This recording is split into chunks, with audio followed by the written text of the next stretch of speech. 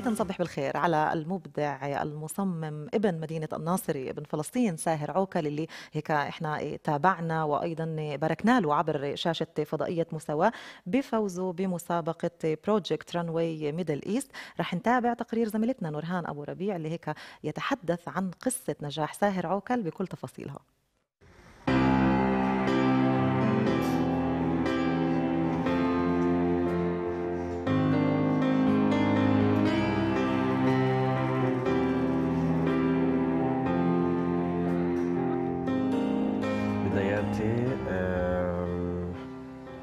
كان فيها حلم كتير.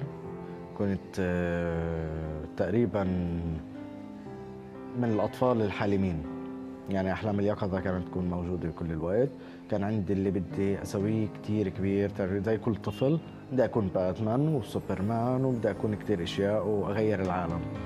ف بس ال- الإشي الواقعي والإشي الحقيقي إنه أنا من طفولتي قررت أسافر وأهاجر وأتعلم برا وكانت إيطاليا أول بلد حطيتها براسي وأنا صغير وما كنت أعرف شو يعني إيطاليا.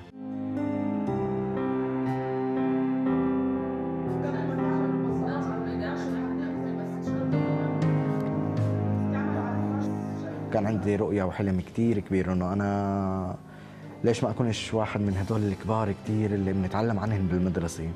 فاتوا التاريخ غيروا ناس غيروا مستقبل غيروا دول. كان في معارضات من البداية كانت من الأهل لأنه بس بأسباب مادية أسباب ظروف مادية صعبة كانت بوقتها. واثنين إنه كمان هذا الموضوع إنه شو بدي أشتغل فيه؟ شو بدي أعمل؟ يعني ما في ما فيه شغل ما فيه نجاح إنه شو بدنا نخيط فستان بالآخر بدنا نبيع فستان. يعني أمي كانت معارضتها الأكبر وحتى قالت لي إنه يعني يعطيها طول العمر بس قالت لي إنه جثتي بتسافر يعني. أنا ما فيش عندي حدا يسافر بريت البلاد ويهاجر. فيش إشي كان بالهوين اللي بإيطاليا. كانت ظروف المعيشة كانت جدا صعبة. إيه، ولا مرة احتجت إنه أمد إيدي لحدا لأنه كنت بحاجة حدا يساعدني بس ما كان صعب علي إنه أتقبل إنه حدا يساعدني. بتذكر إنه واحدة من الشغلات إنه كان ما فيش وين أنام. ومرقت فترة آه، مش كبيرة بس فترة آه، قوية كانت بإنه أنا آه، تواجدت فيها مثل هومليس بالشارع.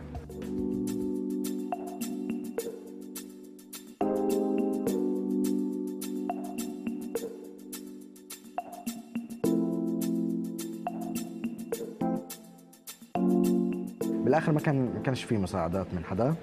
لتني رحت على الفاتيكان اختياري إنه أفوت على الفاتيكان. كان كتير قوي. قلت يا أنا بفوت وبطلب من حدا يساعدني يا بروح على البيت. فقررت إنه أروح آه، على كرسي الاعتراف. هناك في رجل دين. قلت بفوت على كرسي الاعتراف وبعمل آه، حالي كواحد من الناس اللي بده يعترفوا فلما آه، فتت هاي الغرفه الصغيرة ال- الخوري في بيناتنا آه، الخشبي ال- ال- فبقول لي إنه آه، اعترف بخطاياك جملة من هالشكل. قلت له أنا مش خاطي قلت له أنا اسمي ساهر جاي من فلسطين من مدينة الناصري بلد المسيح. وقلت له أنا اليوم آه، بفايت أتعلم بس ما فيش وين أنام. واليوم أنا عم بتواجد بالشارع وبدي حدا يساعدني. رحت على كل ال- الأديرة وكل الأماكن مؤسسات اجتماعية لتساعد.